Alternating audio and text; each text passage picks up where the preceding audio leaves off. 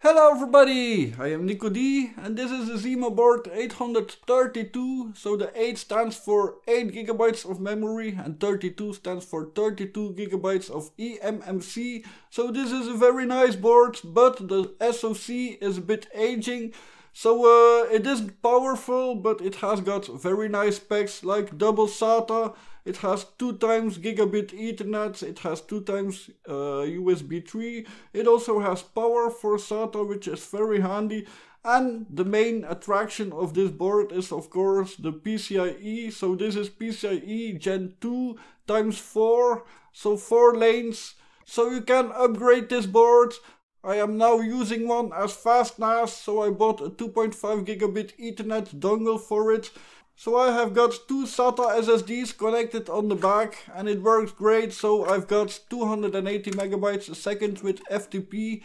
With Samba and with the Windows client I also get 280 megabytes a second.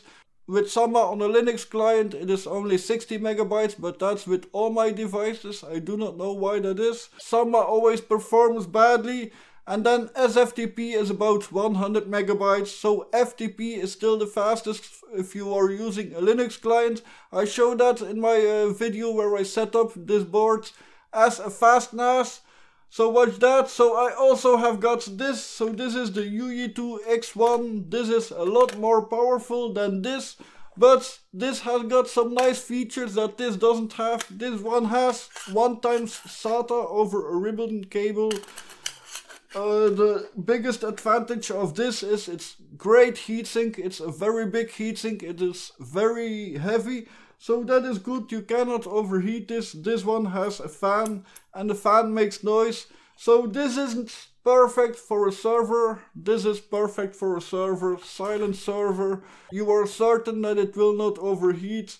You can upgrade it like me. I am now using two times SATA and I have got one USB 3 port free so I can plug one more SSD into that. And if by time I want to upgrade it, I can plug in a SATA PCIe adapter. So I have a lot more SATA ports. So for that, this board is great. It isn't the most powerful as I said, but it is a very nice board. So let's go to the specs. So the CPU is an Intel Celeron N3450 quad core up to 2.2 GHz. That is single core, multi-core it can do about 2 GHz. So this is an aging SoC. It was released in 2016, so it is almost 8 years old. So the GPU is an Intel HD Graphics 500. It has got 8 GB of LPDDR4 RAM. It has got a 32 gigabyte eMMC. It has got two SATA ports up to 6 gigabits per second, 2 times gigabit Ethernet, 2 times USB 3, and a PCI Express port Gen 2 4 lanes. And for display it is a mini display port 1.2 up to 4K at 60 Hz. And it is powered with barrel jack 12 volts and PSU as 3 amps which is more than enough. Under the motto, don't turn it on but open it up. I of course open it up for you. So here the plastic plate goes off and then you see the motherboard. So it looks like a PCB from Apple. They also have got these black PCBs with not too much on it. There are two more screws that I don't see with my bad eyes. So when I unscrew those two, then I can take off the heatsink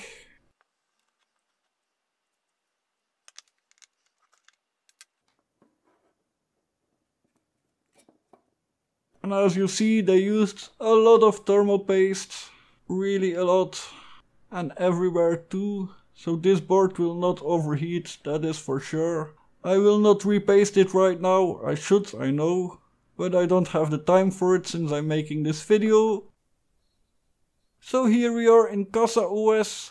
So CasaOS is not an operating system, it is a web interface that allows you to install Docker container apps and manage them. So this is Debian Bullseye. So CasaOS is installed on a Linux distro. So this is Debian Bullseye that is used. And it has the GNOME desktop. But most people will never see this The way to use this is to browse to the IP address of the board. So here it is 27, so it browses to this IP address and then you see the CasaOS web interface. So with this you can manage your board and install a lot of container apps. So here you see a few of them. You can also custom install, so you can install a lot of container apps on here. So let me install Pi-hole here. So something that you see here, the default passwords. I will say okay for now, but I will not use this. I will just show you how to install it. It is very simple. So this is something that we need to take care of. The default password of CasaOS is CasaOS. So this is not hard to hack. So if you know the IP address of the board, you can find that on your router page or there are apps to find the IP addresses of boards in your network. So then you SSH onto it, so SSH Casa OS adds then the IP address. It will ask you for the password, so it is Casa OS. And now I will show you how to change this password so we are a bit more secure. So we do sudo passwd to change the root password. So password is Casa OS and two times type a new password. And now let's change the password for the user Casa OS. So for that we just type passwd. So two times a new password. So now you can go further with installing Docker apps and using containers. But I think this is one thing that you have to do first. I of course I'm using Armbian, so this is Armbian Jammy. So let me show you settings about. So here you can see Armbian Jammy 23.11.1. So this is downloaded from the Armbian website. So let me go to the Armbian website. There to download.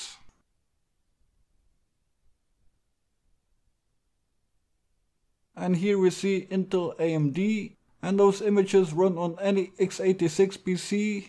So here we've got Bookworm and Jammy CLI. Then here we have got Armbian Bookworm, Cinnamon, GNOME, Minimal and XFCE and i3M, Jammy, KDE and Minimal. Then if we go down a little bit more, here we see Armbian with Home Assistant, Armbian with openHAB and Armbian with the Kali Linux applications installed.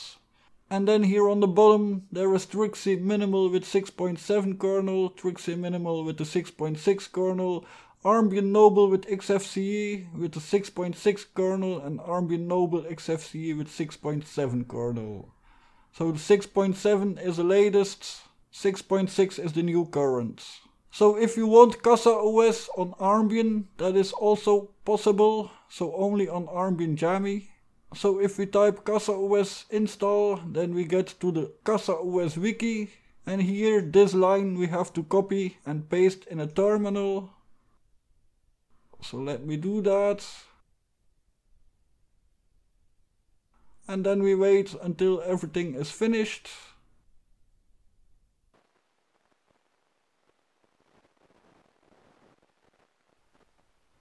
And once it is finished, we again do the same, so we open a browser, we type the IP address of the board, and here is Casa OS.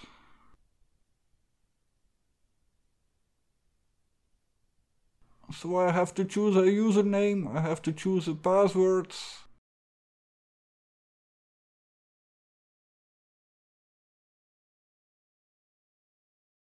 So here you have the storage manager, with this you can format your drives and create storage for Casa OS.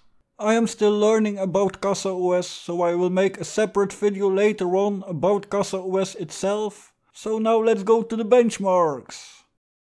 So the 7-zip results don't lie. The Zima board isn't that powerful. It gets 7407 all cores. The Youyeetoo X1 gets 12487.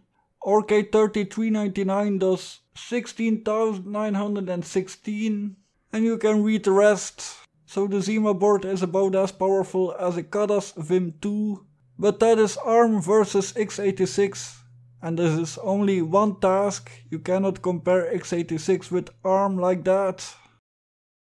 And here the rest of the benchmark results. So there is a problem with Blender on x86 Jammy, so there it performs worse than it should perform.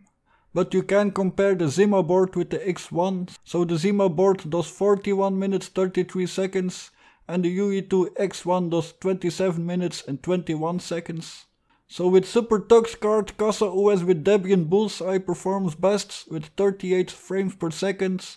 The Youyeetoo does 53 frames per second in Jammy, while the Mixtile Blade 3 with the RK3588 does 69 frames per second with PanFork and 110 frames per second with the Blob driver.